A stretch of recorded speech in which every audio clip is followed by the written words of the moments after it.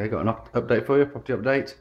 It's been a week and two week and two days since I was here last, and well, we're very nearly finished actually. So we're at the stage where the carpets are in. If I pan around, you can see it's all fully decorated. There will be a few bits of touching up to do.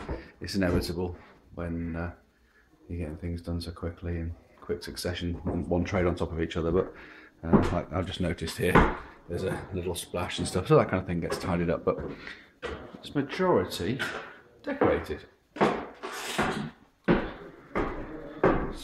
Pan around there. There we go.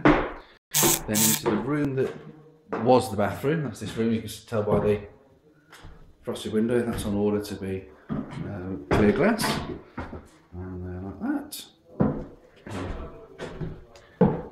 Coming through into what's now the bathroom. Used to be a very, very small bedroom, but now is a reasonably large bathroom because what we do uh, is take a picture in there. That's the uh, sink of the toilet. But what we do is we put this bath in a space that it looks square, but if you look really closely down here, I can get that in.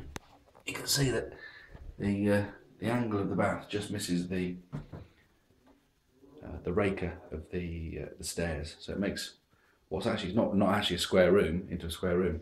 That glass there will be changed to a frosted glass.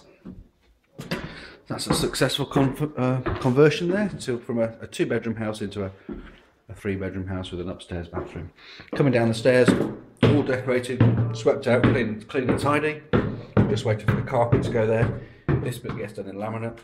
They're just doing laminate now, so it's going to follow through. Laminate's done in here. It's all decorated.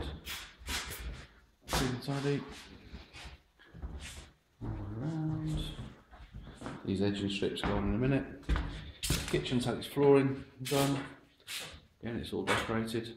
There's a glass window to change there. These windows get cleaned up.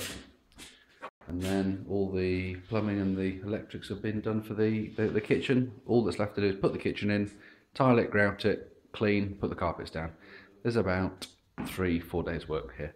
The kitchen will be here tomorrow. So looking good. We're going to start uh, showing prospective tenants around as of uh, this weekend. So you know, fingers crossed we'll have it rented before we've finished the work. It's the end of the update.